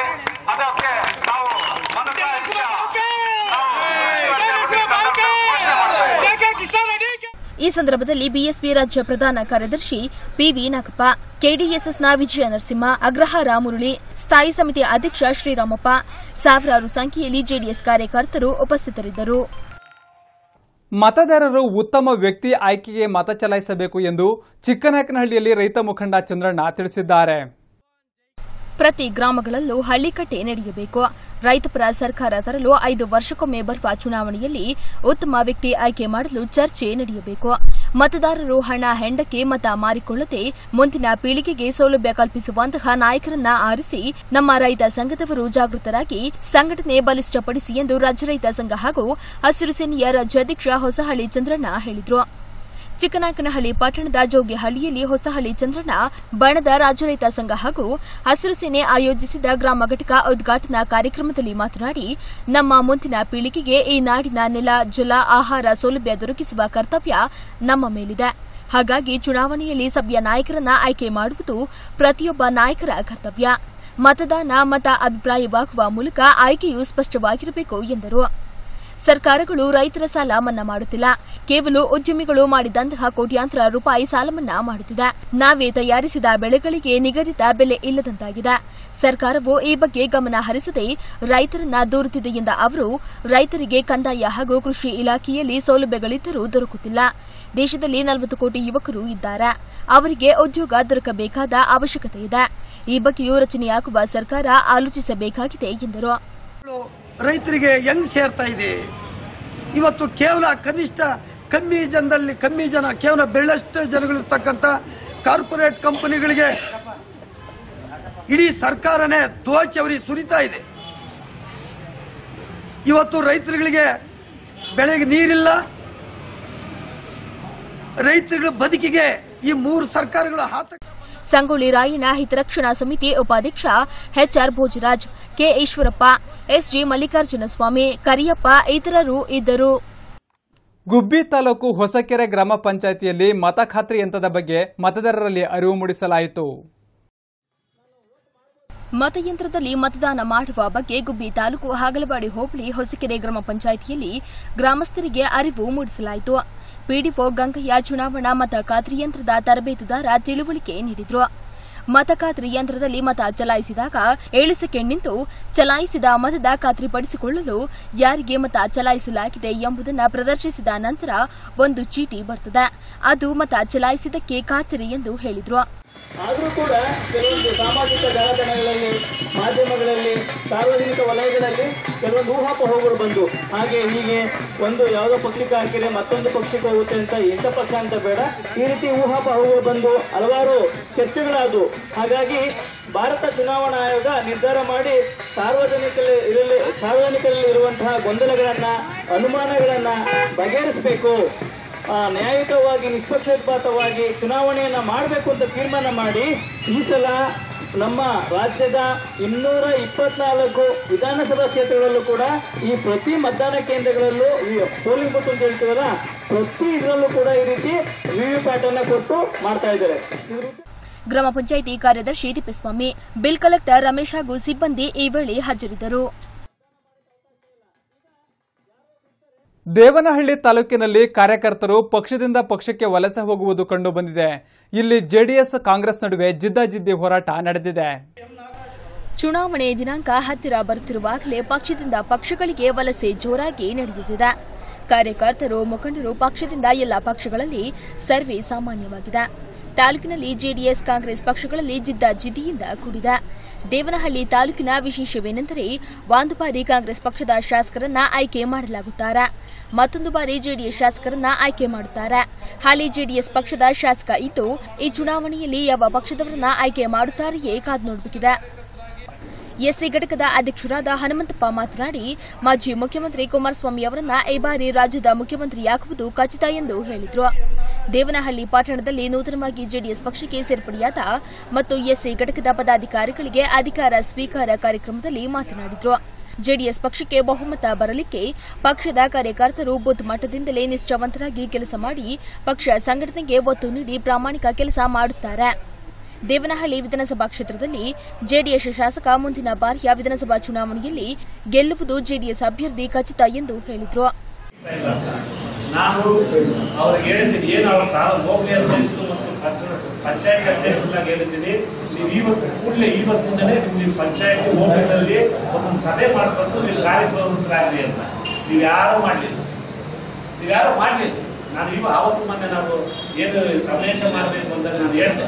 ನೀವು ಇವೇ ಈಗಾಗಲೇ ಒಂದು ಒಂದು ಪದಾಧಿಕಾರಿ ನೀವು ಹೋಬಳಿ ಮಟ್ಟದಲ್ಲಿ ಪಂಚಾಯತ್ ಮಟ್ಟದಲ್ಲಿ ನೀವು ಸಭೆಗಳು ಮಾಡಿ ಅಂತ ನಾನು ತಾಕೀತು ಮಾಡಿ ಹೇಳಿದೆ ಮಾಡಿ ಕುಮಾರ್ ಪರ್ವ ಒಂದು ಇದೆ ಸಂದರ್ಭದಲ್ಲಿ ನಾವು ನಮ್ಮ ಎಸ್ ಸಿ ಘಟಕದಿಂದ ನಮ್ಮ ಸಮಾಜದ ಎಲ್ಲ ಸಮಾಜ ಗುರುತಿಸಬೇಕು ಮತ್ತು ಪದಾಧಿಕಾರಿಗಳನ್ನ ಒಂದು ಒಂದು ವಿಶ್ವಾಸ ತಗೊಳ್ಬೇಕು ಏನ್ ನೀವು ಈಗಾಗಲೇ ತಿಂಗಳ ಹಿಂದೆ ಪದಾಧಿಕಾರಿಗಳನ್ನ ಪಟ್ಟಿ ಮಾಡ್ತೀವಿ ಆ ನಾವು ಏನ್ ತಾಲೂಕಿನ ಮುಖಂಡರೆಲ್ಲ ನಿಮ್ಮ ಗ್ರಾಮ ಪಂಚಾಯತ್ ವ್ಯಾಪ್ತಿಗಳಲ್ಲಿ ಬಂದು ನಾವು ಒಂದು ಪದಾಧಿಕಾರಿಗಳನ್ನ ಆಯ್ಕೆ ಮಾಡ್ತೀವಿ ಆಯ್ಕೆ ಮಾಡಿದ್ರು ಸಹ ನೀವು ಈಗಲೂ ಈ ತರ ನಾವು ಈ ತರ ಮೀಟಿಂಗ್ ಕರೆದಿದ್ದೀವಣ್ಣ, ನೀವು ಬಂದ್ರಿ ನಮ್ಮ ಸಮಸ್ಯೆ ಹಿಂಗಿದೆ. ನೀವು ಇಲ್ಲೆಲ್ಲ ಇದ್ದೀವಿ ಮುಖಂಡರು ನೀವು ರಾತ್ರಿ ಹನ್ನೆರಡು ಗಂಟೆ ಕರೀರಿ ನಾವು ನೀವೇ ಮಾಡಿ. ನಾವು ಕರ್ನಾಟಕ ಮಾತ್ರ ಇಲ್ಲಿ ಬರ್ತೀರಾ? ನೀವು ನೀವು ಕರೆದಿದ್ದು ನಮ್ಮನ್ನ ಯಾರನ್ನ ಕರೆದಿದ್ದು ಕರೆದಿದ್ದೀರ ಯಾರನ್ನ? ಹೋಗ್ಲಿ ಅಧ್ಯಕ್ಷರಿದ್ದೀರಾ ಪಂಚಾಯತ್ ಅಧ್ಯಕ್ಷರಿದ್ದ ಇಂಥ ಸಭೆ ಇದೆ. ಸಭೆ ಮಾಡ್ತಾರೆ. ನೀವು ತಾಲೂಕು ಮಟ್ಟದಲ್ಲಿ ನಾವು ಎಷ್ಟೇ ಮುಖಂಡರಿದ್ರು ನಾವು ಒಂದು ಅಧ್ಯಕ್ಷರಿದ್ರು ನೀವು ಆ ಹೋಬಳಿ ಮತ್ತು ಪಂಚಾಯತ್ ನಮ್ಮಷ್ಟೇ ನೀವು ಜವಾಬ್ದಾರರು. ಕಾರ್ಯಕ್ರಮದಲ್ಲಿ ಕಾರಹಳ್ಳಿ ಶ್ರೀನಿವಾಸ್ ಗುಳಹಳ್ಳಿ ರಾಜಪ್ಪ ಇನ್ನು ಅನೇಕ ಮುಖಂಡರು ಹಾಜರಿದ್ದರು. ಚಿಕ್ಕನಾಯಕನಹಳ್ಳಿ ತಾಲೂಕು ಹೆಸರಹಳ್ಳಿಯಲ್ಲಿ ರಂಗನಾಥ ಸ್ವಾಮಿ ಜಾತ್ರಾ ಮಹೋತ್ಸವ ಅದ್ದೂರಿಯಾಗಿ ನೆರವೇರಿತು. ಚಿಕ್ಕನಾಯಕನಹಳ್ಳಿ ತಾಲೂಕಿನ ಶೆಟ್ಟಿಕೆರೆ ಹೋಬಳಿ ಹೆಸರಹಳ್ಳಿ ಗ್ರಾಮ ದೇವತೆ ಹಾಗೂ ಹುತ್ತದ ರಂಗನಾಥ ಸ್ವಾಮಿ ಜಾತ್ರಾ ಮಹೋತ್ಸವದಲ್ಲಿ ಈಚಲುಮರ ಹತ್ತುವ ಮೂಲಕ ದೇವರನ್ನ ವಿಶೇಷವಾಗಿ ಪೂಜಿಸಲಾಯಿತು. ಹೆಸರಳಮ್ಮನ ದೇವಸ್ಥಾನದಲ್ಲಿ ದೇವರಿಗೆ ಮಹಿಳೆಯರು ಆರತಿ ಕಳಸದೊಂದಿಗೆ ಪೂಜೆ ಸಲ್ಲಿಸಿದರು. ನಂತರ ದೇವಾಲಯದ ಆವರಣದಲ್ಲಿ ಪುರುಷರಿಂದ ಸಿಡಿ ಆಚರಣೆ ವೈಭವಯುತವಾಗಿ ನಡೆಯಿತು. ವ್ರತಾಚರಣೆ ಮಾಡಿದ ಅರ್ಚಕರಿಂದ ಏಚಲು ಮರವೇರಿಸಿ ಮರದ ನೆತ್ತಿಯ ಮೇಲೆ ಹೊತ್ತದ ರಂಗ ಹಾಗೂ ಹೆಸರಹಳ್ಳಿ ಅಮ್ಮನವರ ಕರೆಯುವ ಮೂಲಕ ಪೂಜಾ ಕೈಂಕರ್ಯ ನಡೆಸಲಾಯಿತು.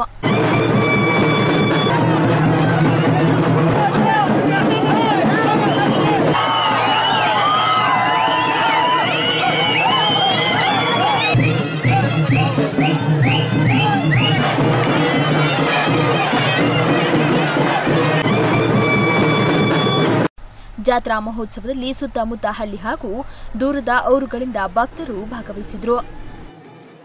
ಚಿಂತಾಮಣಿ ತಾಲೂಕು ಯರ್ರಾಕೋಟೆಯಲ್ಲಿ ಟೆನ್ನಿಸ್ ಬಾಲ್ ಕ್ರಿಕೆಟ್ ಪಂದ್ಯಾವಳಿ ಏರ್ಪಾಡಾಗಿತ್ತು. ಯುವಜನತೆ ಕ್ರೀಡಾ ಜಗತ್ತಿನಲ್ಲಿ ಉತ್ತಮ ಸಾಧನೆಗೈದು ಕ್ರೀಡಾ ಸ್ಫೂರ್ತಿ ಹೆಚ್ಚಿಸಿಕೊಂಡು ಚಿಂತಾಮಣಿ ತಾಲೂಕಿಗೆ ಹೆಚ್ಚಿನ ಕೀರ್ತಿಯನ್ನ ತರಬೇಕೆಂದು ಸಮಾಜ ಸೇವಕ ಟಿಸಿ ವೆಂಕಟೇಶ್ ರೆಡ್ಡಿ ಕ್ರೀಡಾಪಟುಗಳಿಗೆ ಕರೆ ನೀಡಿದರು. ಚಿಂತಾಮಣಿ ತಾಲೂಕು ಯರಕೋಟೆ ಗ್ರಾಮದಲ್ಲಿ ಗಂಗಾ ಭವಾನಿ ಯುವಕರ ಸಂಘ ಹಾಗೂ ಸಮಾಜ ಸೇವಕ ಟಿಸಿ ವೆಂಕಟೇಶ್ ರೆಡ್ಡಿ ಅವರ ನೇತೃತ್ವದಲ್ಲಿ ಹಮ್ಮಿಕೊಂಡಿದ್ದ ತಾಲೂಕು ಮಟ್ಟದ ಟೆನ್ನಿಸ್ ಬಾಲ್ ಕ್ರಿಕೆಟ್ ಪಂದ್ಯಾವಳಿಯಲ್ಲಿ ವಿಜೇತರಾಗಿ ಪ್ರಥಮ ಬಹುಮಾನ ಪಡೆದ ಗೌನಿಪಲ್ಲಿ ಪೈರ್ ಫೈಟರ್ ತಂಡ ಹಾಗೂ ದ್ವಿತೀಯ ಸ್ಥಾನ ಪಡೆದ ಯರಕೋಟೆಯ ಗಂಗಾ ಭವಾನಿ ಯುವಕರ ತಂಡಗಳಿಗೆ ಸಮಾಜ ಸೇವಕ ಟಿಸಿ ವೆಂಕಟೇಶ್ ರೆಡ್ಡಿರವರು ಬಹುಮಾನ ಹಾಗೂ ಟ್ರೋಫಿಗಳನ್ನು ವಿತರಣೆ ಮಾಡಿದರು. ಈ ವೇಳೆ ಸಮಾಜ ಸೇವಕ ಟಿಸಿ ವೆಂಕಟೇಶ್ ರೆಡ್ಡಿ ಮಾತನಾಡಿ, ಕ್ರಿಕೆಟ್ ಕ್ರೀಡೆಯಲ್ಲಿ ತಮ್ಮ ಭಾರತ ದೇಶ ಹೆಚ್ಚಿನ ಸಾಧನೆ ಮಾಡಿ, ದೇಶ ವಿದೇಶಗಳಲ್ಲಿ ಹೆಸರು ಮಾಡಿದ್ದು, ಈ ನಿಟ್ಟಿನಲ್ಲಿ ತಾಲೂಕಿನಲ್ಲಿಯೂ ಯುವಜನತೆ ಕ್ರೀಡೆಗಳ ಅಭ್ಯಾಸದಲ್ಲಿ ನಿರತರವಾಗಿ ರಾಜ್ಯ ಹಾಗೂ ದೇಶದ ಕೀರ್ತಿಯನ್ನು ಹೆಚ್ಚಿಸುವ ಮಟ್ಟಕ್ಕೆ ಬೆಳೆಯಬೇಕೆಂದು ಹರಿಸಿದರು. ಈ ಸಂದರ್ಭದಲ್ಲಿ ಬಿಜೆಪಿ ತಾಲೂಕು ಅಧ್ಯಕ್ಷ ಬ್ಯಾಲಹಳ್ಳಿ ಆಂಜನೇಯ ರೆಡ್ಡಿ. ಜಿಲ್ಲಾ ಪದಾಧಿಕಾರಿ ಶಿವಪ್ಪ, ವೆಂಕಟರಮಣ, ಪ್ರಧಾನ ಕಾರ್ಯದರ್ಶಿ ಮಹೇಶ್ ಬಾಯ್ ಸದಾ ಸೇರಿದಂತೆ ಆಯೋಜಕರು ಮತ್ತಿತರರು ಭಾಗವಹಿಸಿದರು. ಇಲ್ಲಿಗೆ ಅಮೋಘ್ ವಾರ್ತಾ ಪ್ರಸಾರ ಮುಕ್ತಾಯವಾಯಿತು. ಸ್ಥಳೀಯ ಸುದ್ದಿಗಾಗಿ ತಪ್ಪದೆ ವೀಕ್ಷಿಸಿ ಅಮೋಘ್ ವಾರ್ತೆಗಳು.